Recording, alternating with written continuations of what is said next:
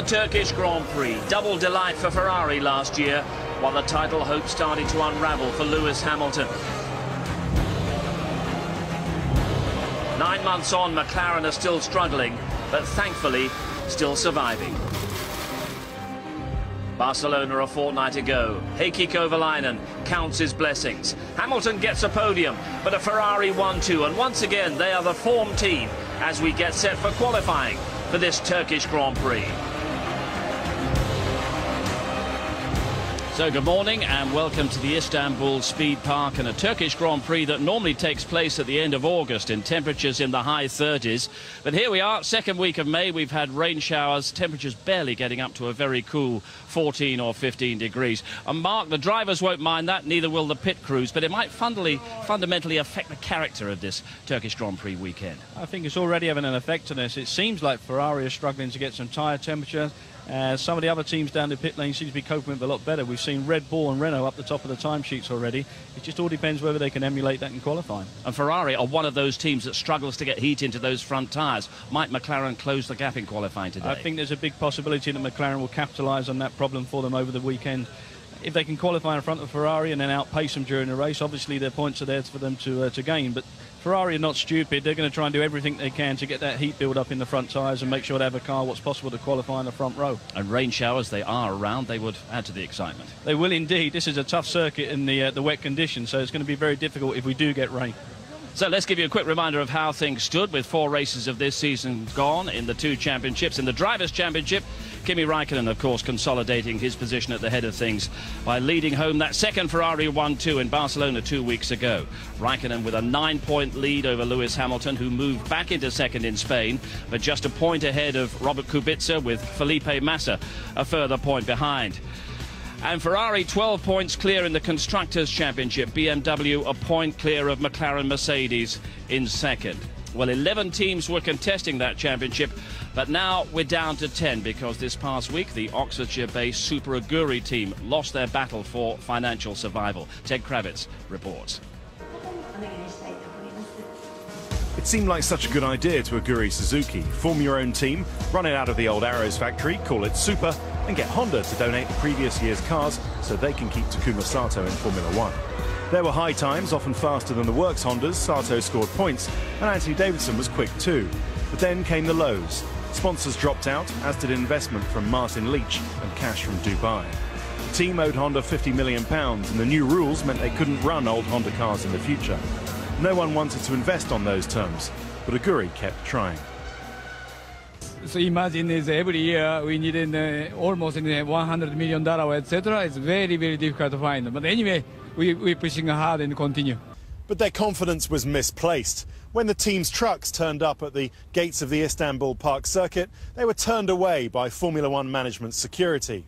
It seems that Bernie Ecclestone knew it was over before Aguri Suzuki did.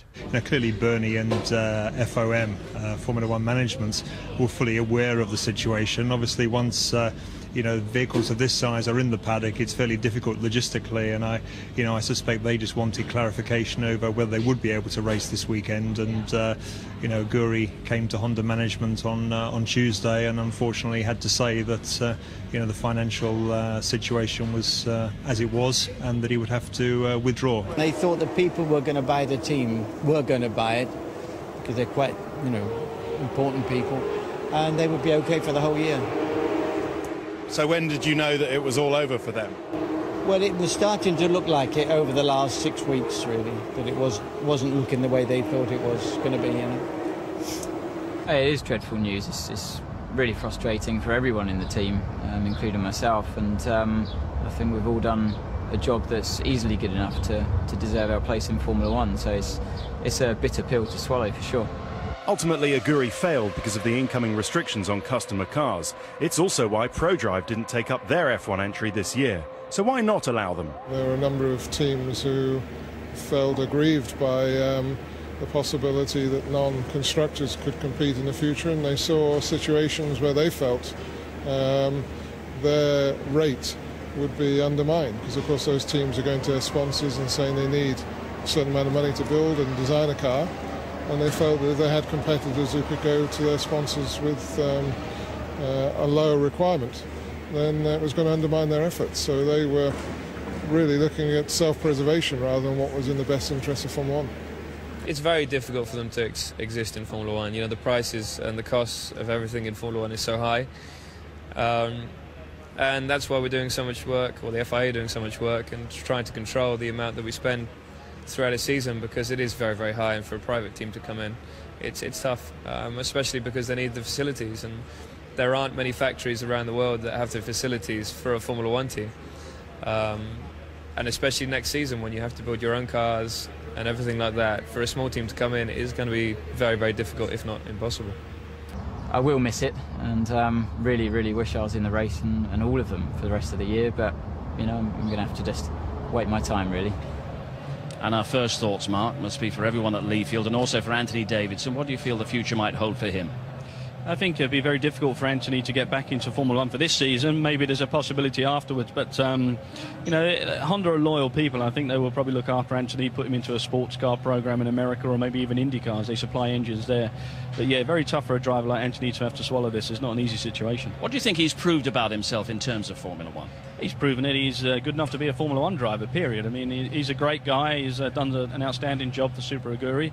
Uh, unfortunately, the team's not around no longer for him to show off his uh, his goods. But the lessons of the Super Aguri demise. I mean, we heard Jenson Button saying that it's well nigh impossible now for a good old-fashioned privateer team to build a car and enter Formula One and fund it. Uh, that must be very worrying for the future of the sport. Yeah, it is a problem. I think uh, there's a lot of discussions down the pit lane at the moment on budget capping, on teams operating on a certain amount of money. There's also a lot of uh, issues on investment with new money coming in and no Concorde agreement basically being around to have some stability with the sport. These are topical uh, conversations. So a lot for the sport to think about, but sadly Super Aguri are no more. But it's good to report that one of their former neighbours at this end of the pit lane, McLaren Mercedes, for them it's business as usual. And that means that Heikki Kovalainen has been passed fit to race in this Turkish Grand Prix this weekend, something that seemed very unlikely when you saw the horror crash he suffered in Spain two weeks ago. So how exactly did he come through it? Here's Louise Goodwin. When Heikki Kovalainen's car left the Barcelona track at around 160 miles an hour, it was a worrying moment for everybody, not least his girlfriend Catherine. But Heikki remembers nothing of the moment when the front left wheel of his McLaren failed. I remember starting the lap uh, in the first few corners, and then the next time after after that, I remember uh, being in the hospital and uh, being a bit confused and asking people, you know, what, what's happened, and uh, that there's a two and a half hour loss of memory basically from the circuit to the you know to the medical center uh, in the in the city. But uh, since then, uh, I got back on track, and, and uh, the recovery has been very good since then. The teams carried out a detailed investigation into the accident and found it was caused by the failure of a wheel rim due to an error in the manufacturing process. The time the wheel failed, he was doing about 250 kilometres an hour. By the time he hit the barrier, it would probably be about 140 kilometres an hour. The accident itself was uh, a long accident in that the barrier did a did a great job. Uh, so it was over uh, 100 milliseconds, which doesn't sound very long, but for a Formula One accident, that's probably four or five times as long as a normal accident. During that time, he, he experienced 26 G. Uh, so 26 times his, his body mass on the harness, or a part of that, of course, was offset by his head on the steering wheel. Kovalainen spent one night in hospital in Barcelona before being discharged into the care of McLaren's team doctor. But before being allowed to drive here in Turkey, he had to pass the FIA's fitness test. All the drivers who enter the championship uh, do a, a, series of tests. It's, uh, some memory tests, some uh, you know calculations, some uh, reaction tests. It's, uh, it's basically to see the brain and the uh, brain is functioning normal and you get a baseline for yourself and then I had to do the same test again and compare the results to Australia and, and they were very good so so everything seems to be uh, back in line, and, uh, my feeling as well is, is telling me that it's, it's time to go back racing again. His teammates pleased to have him back. Hamilton raced on to third whilst Heikki was on his way to hospital, but kept a close eye on his friend's recovery. I was able to um, keep in touch with him uh, through the doctor, and also I spoke to him while I was in the hospital, taking his mind off what is going on with him there, and uh, and then obviously I went to Finland with him over the weekend. We had I had a fitness test, he didn't, but uh, he was having all types of examinations, and uh, and he beat. I just mentioned he beat me at bowling, which is not great, um, but it's okay. He can beat me at that. Just I'll do my winning at the track. So he's fit to go bowling. Does it surprise you that he's fit enough to race as well? Uh, I'm not surprised by that. You know, they're, they're, fit guys, and because they're so fit, they recover very quickly, and that's one of the uh, the main things for a Formula One driver. They've got to be in great shape because accidents do happen, and they have to take those kind of impacts tough one for uh, Heikki to have to go through, but um, you know, a testament to the strength of the cars as well. I think the car stood up pretty well to the impact. But you've got to be so mentally tough uh, as well, and that's what he proved when he turned up for practice on Friday. He, he, not only was he quick, he was quick straight away. Yeah, I think that's a great sign of a, of, a, of strength of a driver as well. Get back in the car, get to the top of the timesheets, give the confidence boost that you need, but everybody around you as well. They know that you're back in and you're you're back at the top of your game. So again, uh, a testament to Kovalainen's ability and it does really underline how important the preparation of these cars is. One one extra layer of lacquer can cause damage like that. Yeah, it's it's quite surprising in many ways when you see what does happen, but you have to understand the stresses and strains what go on with an impact like that. And Martin Whitmarsh was alluding earlier that it was a long time, you know, 100 milliseconds. Well, it, that sounds nothing in our normal everyday lives, but for a, a, an accident like this, it's a long time. And you can't remember too much about it, which is probably no bad thing. I think that's a great thing. sometimes it's not good to remember any of these accidents. And at the end of the day, you know, what he does remember is how to drive racing car quickly, and he's done that already.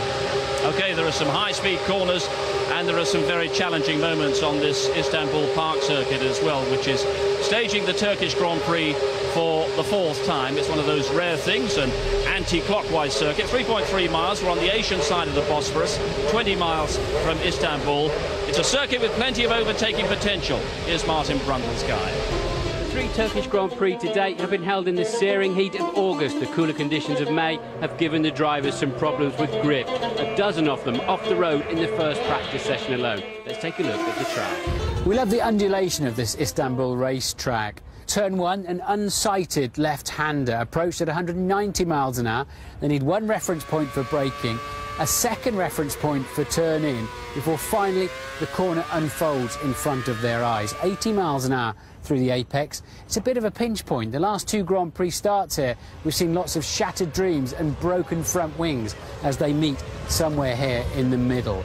On the exit, to the foot of the hill for turn two. On board with Massa in the Ferrari. He's a bit of a star around this racetrack. Top of the hill, turn three, 100 miles an hour. Braking for four. The track cascading downhill.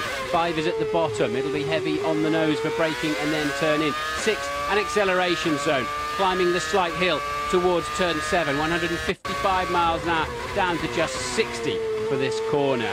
Building quickly to 170 miles an hour. Ahead of us, the legendary turn 8. It's got four apexes. Some drivers miss one of those and sweep around the outside. It is a great challenge. The loading in the car is tremendous. A full eight seconds of G-force for the drivers to cope with too. A brilliant corner that really challenges everybody. Here, Mark Webber running a little wide through the exit on the AstroTurf, loses the back of the Red Bull and smashes into the barrier. A real challenge.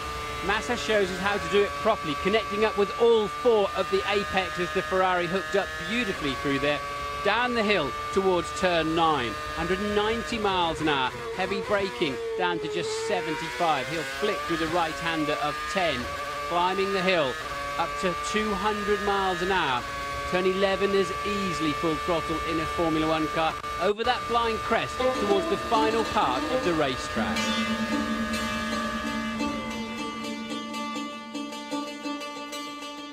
Turn 12 is a good one, over that crest at 200 miles an hour, braking heavily down to just 58 for this apex of the left-hander.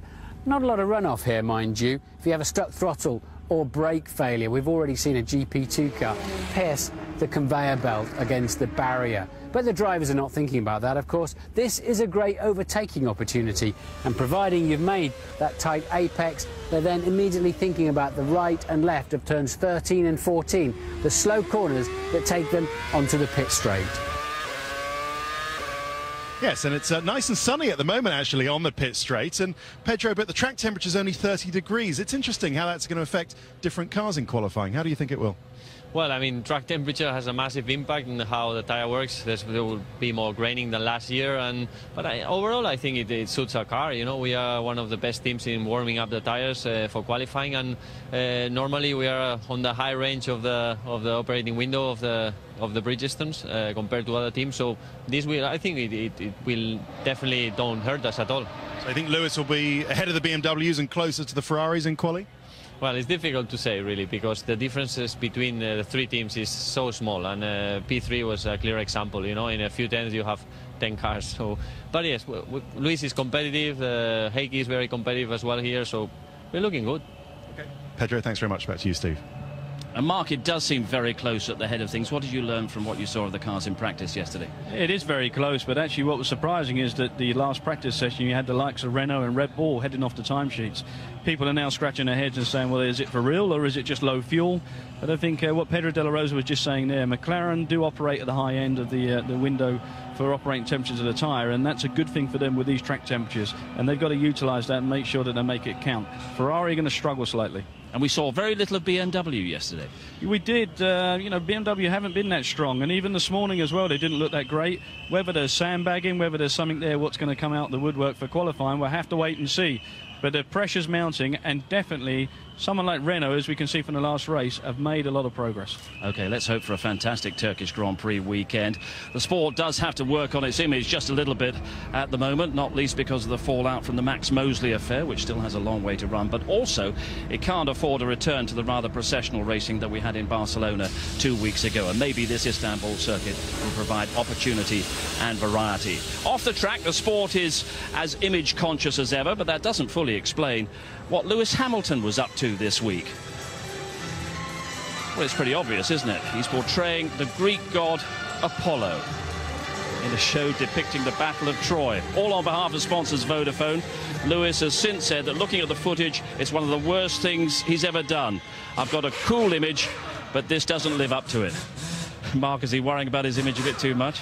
I don't think so. It's not the most, it's not the most best photograph or shot I've ever seen Lewis in, is it? Uh... How much does it concern you the amount of work he's required to do for sponsors in a build-up to a race in Grand Prix week? Yeah, it, it's difficult for a driver, and definitely a driver at his level. There's so many corporate and commercial situations that have to be done by the drivers, and um, I don't think it's ideal. Know, definitely not to have to come out so early and have to go through all of that. But it's part and parcel of modern day Formula One. Without the sponsors, we wouldn't have the sport. Okay, qualifying is coming up, but uh, after the break, we'll take a closer look at Ferrari's current dominance. We've got the ITV F1 competition and the latest in our series celebrating 60 years of the British Grand Prix at Silverstone. Another classic racing car for Martin Brundle to drive. All in a couple of minutes.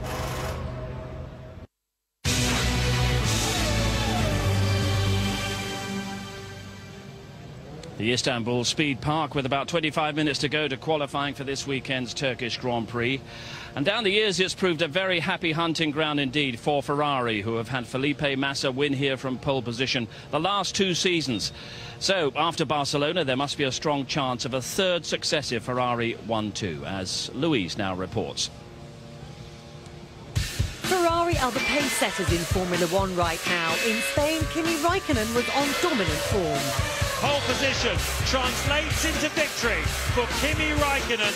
It's Ferrari's third win in four races, and it looked very comfortable indeed.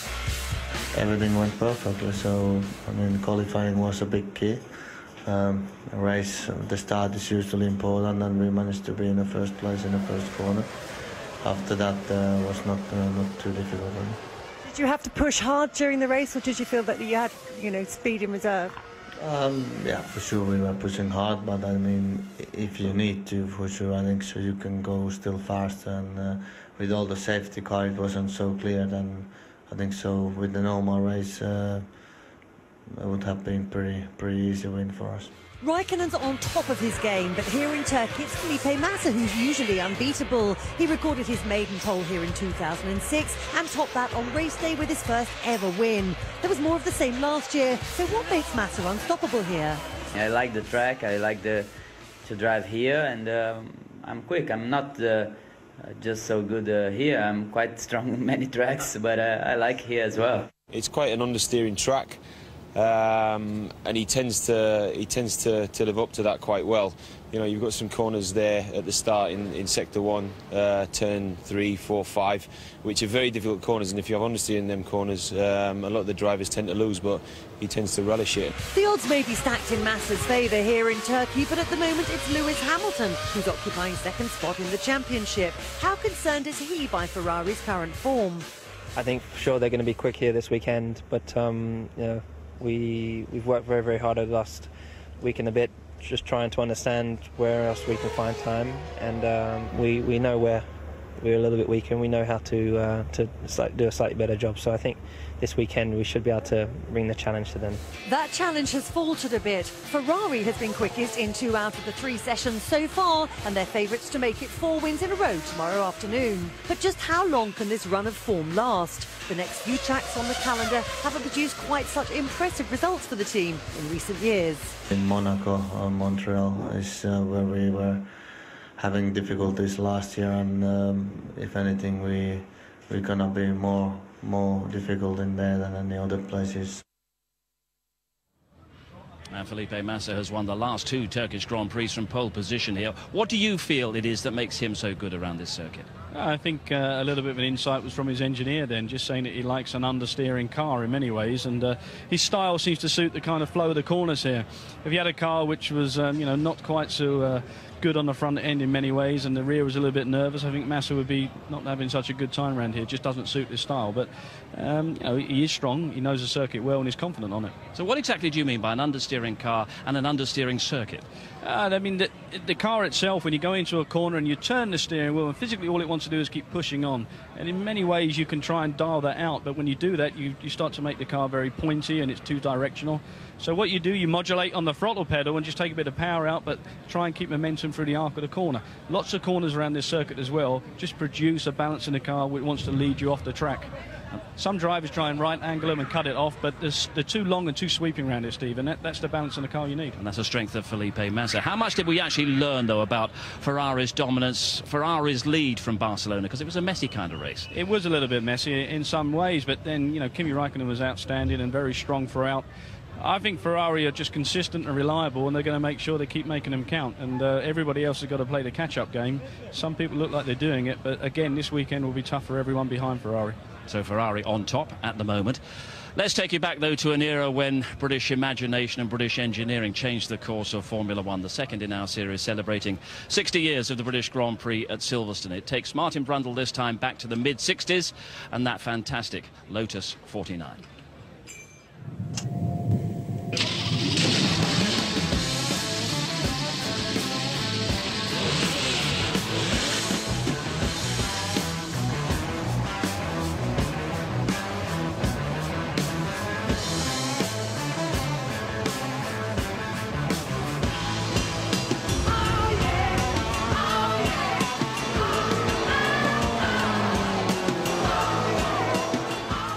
Difference in a Lotus and a Cooper was if you were good enough, the Lotus was faster.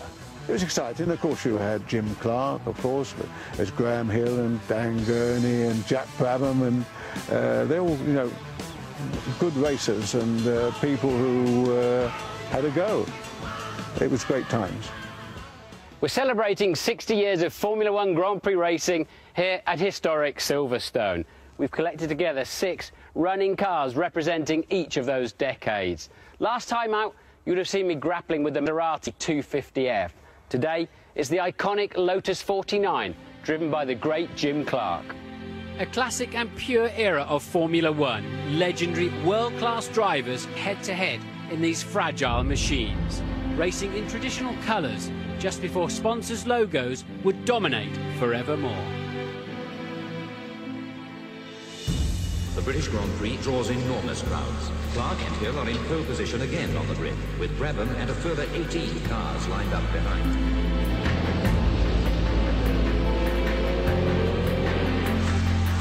Jim Clark is now approaching his final lap, and all are willing him to the checkered flag. This is the moment shared by thousands and relished by the Ford and Lotus camp. There's something special about going to Silverstone and knowing that you're heroes, and then you see up on the wall somewhere, you see the pictures of the, the Mosses and the Brookses and the Fangios and those names and James Hunts up on the walls. I think it's just, um, you know, it's fabulous to come here and, and just sort of engulf yourself in that atmosphere. Okay, we're leaving the pit lane in this 1967 Lotus 49, a car that won its first ever Grand Prix with the amazing Jim Clark at the wheel. It feels so small. It feels like I'm on a motorbike actually, as if there's nothing in front of me really. Just an awful lot of performance behind me. 400 horsepower. The iconic Cosworth V8 Formula One engine. I can see why this car suddenly moved the whole game forward. It's so much lighter and more nimble than the Maserati of the late 50s, for example. Nice little gearbox, you have to use it sequentially. Brakes a little bit dead. Engine is very drivable, very tractable. That lovely DFV sound. The whole car just slides across the road, but it is in balance. It is in unison.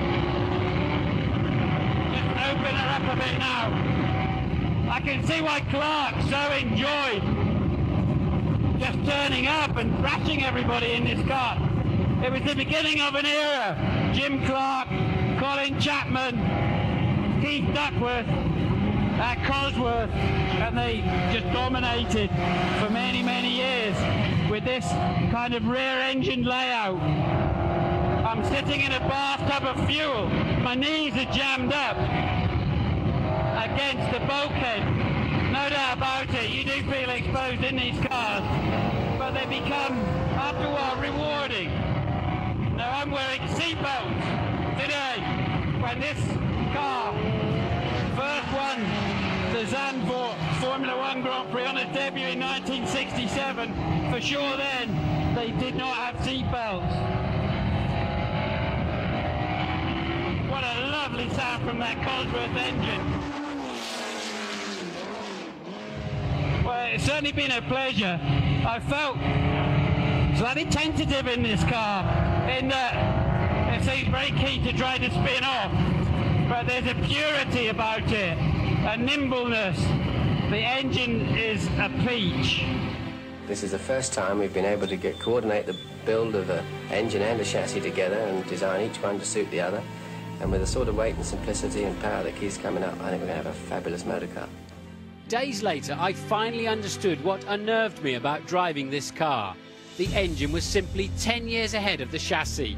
Apparently, even Jim Clark was much happier when they later added wings and better tyres.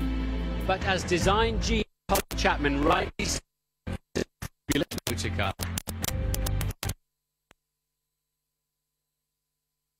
Cars for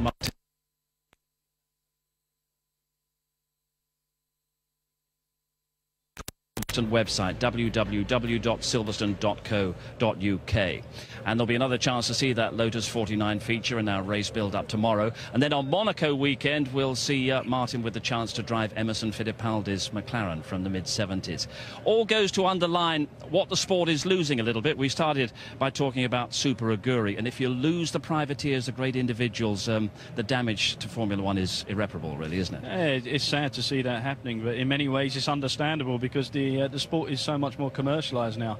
And I use the sport as a word which really it should be, you know, told as business because it is big business down this pit lane, Steve. And um, you know, I think that's that's a major problem. You you can't come in with a small budget anymore and put a race car on the circuit and get success. It needs to be done in a much bigger way. Well, one of those good old-fashioned privateers still surviving is Frank Williams, of course. Uh, thoughts starting to turn though to qualifying here at the Turkish Grand Prix, and I think Louise is down at uh, Williams right now.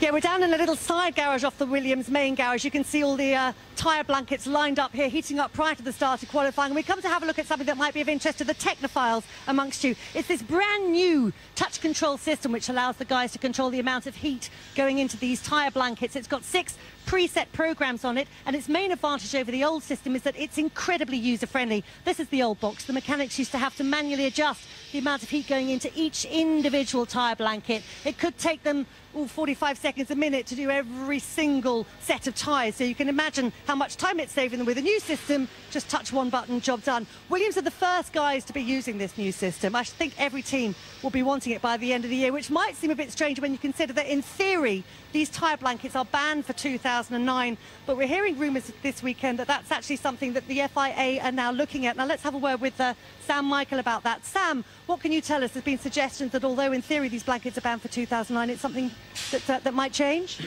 Well, a lot of the, first of all, on the, as you rightly said, there's a lot of the technology in the blanket has improved significantly over the last few years. It's also a relatively inexpensive technology because uh, when a Formula One car drives out of a pits, uh, it normally, if you don't have tyre blankets, it'll take you three or four laps to warm tyres up. So it's a very expensive way of heating a tyre as compared to a blanket. Uh, in terms of future regulations, it's you know they're always up for, for debate, and we're always uh, discussing those sort of things at, at uh, technical working group level and team principal level. And the, the debate over tyre blankets has, has been on for a while now, and hopefully there'll, there'll be some decision soon. Just a quick word about qualifying. Obviously, the conditions here are a lot colder than we were expecting it to be. Have you had to adjust your preparations for this session at all? Absolutely. One of the things that you can see is that it rained again last night, so it was a damp track to start with, and that means the track's what we call green. Uh, all the rubber's been washed away, so it starts from zero again, which means that you can struggle to get uh, temperature into the into the car and uh, get the grip out of the tyres. so this means that we we might change change the setup to a different area, whether that's roll stiffness or weight distribution. Uh, the driver will adjust his outlap to try and work, see where the tyre is working, and we'll have to apply that philosophy right up until qualifying. Thanks, Sam. Thank you. Cheers. And graining is something we might hear a fair bit about during the course of this weekend. What, what exactly is meant by that? Yeah, just the, the, fact that a tyre doesn't get to operating temperature quick enough, and sometimes the, the surface of the rubber just starts to get little balls and rolls across the face of the tyre. They say graining, and simply as that, it's just a grain of rubber coming across the surface. But uh, what Sam Michael is saying there is, is very correct. You know, the circuit has had rain on it, it's washed a lot of the rubber away, a lot of the grip has gone. Now they've got to try and rebuild that back again, and uh, some cars will benefit from that, some won't. Okay, let's go to Red Bull. Christian Horner is with Ted Kravitz. Yes, well, first and third in practice, Christian. I mean, you're, you're, obviously doing something with fuel that nobody else is, but generally on qualifying, how's it looking? Because David in particular has struggled recently. Yeah, David um, hasn't had a good run the last couple of races. He was unlucky in Barcelona um, to get eliminated in the first session. So, um, but no, the car seems well balanced around here. Both drivers seem pretty happy. This session, there's no prizes for, so uh, it's this afternoon that counts, but we feel that we're you know reasonably well prepared. And are you going to gamble with running the hard tyres in qualifying one for both cars, or are you going to play it safe and run the softs? What's the thinking on that? We've got a different situation now with five cars from each session going out now that uh, unfortunately Super Aguri aren't here. So uh, that means that one of the main players is going to drop out in the first session. Um, so uh, I think we'll probably err on the side of caution. Thanks, Christian. It's going to be another intense qualifying battle in that midfield. Live coverage is coming up. The ITV F1 website will provide all the analysis and details you require and background on the sport, plus video action from every Formula One session at every Grand Prix. Get information on the ITV F1 competition as well. And this is what you could win this week. We're giving you the chance to attend one of the classic races on the Formula One calendar, the Belgian Grand Prix on the 5th, 6th and 7th of September. You and a friend will be treated to a luxury package with leisure select Eurostar tickets, accommodation in a four-star hotel in Liège and transfers to the circuit. Plus you'll get two tickets to the Eau Rouge VIP area where you'll find an open bar and buffet and there's access to the GP2 paddock, tickets to the F1 pit walk and seats overlooking the infamous Eau Rouge corner. To be in with the chance of winning this prize, courtesy of the Belgian Tourist Office Brussels and Wallonia, just answer this question correctly. Which dish is Belgium famous for? Is it A, mussels and chips, B, egg and chips, or C, sausage and chips? To enter, call 0901 293 2020. Calls cost £1 from a BT landline. Calls from other networks may be higher, and from mobiles will be considerably more. Or text the word F1 on your answer, A, B, or C, to 63337. Text cost a pound plus one standard network rate message. Digital satellite and cable viewers can enter by pressing their red button now. You can also enter for free at itv.com. Entrance must be 18 or over and lines close at 5pm this Tuesday, the 13th of May. Entries made after closing time won't be counted, but you may still be charged. And you get all those competition details once again in our race build-up tomorrow. Now, Renault, they were back to form in Barcelona, weren't they? What can we expect uh, from them in qualifying here in Turkey this weekend? Ted is with Renault's Pat Symonds. Yes, Pat, and um, Fernando was second quickest in this morning's practice session. Is that something that you're hoping, is that it's likely to be transferred to qualifying? No, I don't think so. Uh, I think you know you still see the difference between the guys in the, the top six cars and, and the rest who uh, run different fuel loads in, in P3. So what about this thing that we were just talking at Red Bull, the fact that one big guy is going to drop out in Q1? How, how do you change your, uh, your approach for that? Well, yeah, of course, you know, it's, uh, it's 15 cars through um, after the first cut-off, and that's uh, a little bit more difficult now. But uh, I hope that with the, the improvements we've made in the last few weeks, that it's not going to apply too much to us. So we're still just pushing into the, trying to get into the Q3 but I mean, Nelson's had a had a difficult time in qualifying. I don't think you have to worry about Fernando, but um, presumably, based on the fact that you need to be in it to win it, you'll be throwing soft tyres at Nelson's attempt. Yeah, absolutely. Um, but you know, last last week he got through there. Today he's pretty well equalled Fernando's time. So I think he's he's finding the new car and the new developments a lot more suited to him, a lot easier for him. So I hope we can get him through there. But yes, it is more tricky. Okay, we'll look out for it. Thanks very much, Pat. So there'll be a lot of extra tension around that first qualifying session. Yeah, I think there will be. Just one position uh, more now with the, the, top five going away. From, yeah, a lot of people will be under a little bit more pressure. But uh, Renault there, they seem quite confident. We talk about Ferrari's advantage. What about um, McLaren and BMW? How closely are they matched coming into this race? I think they're very close indeed. I think between McLaren and BMW, there's not much at all there, and uh, you know, there's the slightest little advantage that can be got, and that may well be the McLaren operating on its uh, its tyres a bit more efficiently in these conditions. Will be something they need to use. Uh, Ferrari again still strong, but people like Renault, Pat Symonds has said, you know, people are uh, there with a lot more enthusiasm and confidence. Are going to be on the heels of BMW and McLaren. And you've also possibly got Heikki Kovalainen on the heels of Lewis Hamilton. He's out-qualified him twice already this season. Yeah, Heikki seems to be able to get the car on one lap and produce a great time, and that's something that's going to get Lewis Hamilton's attention. And you know, let, us see whether Heikki can come back from that big accident in uh, Barcelona and make it count. So many interesting issues in this qualifying session that is coming up. Our live coverage uh, is just a few minutes away. The countdown is almost complete. It'll be live action when we return.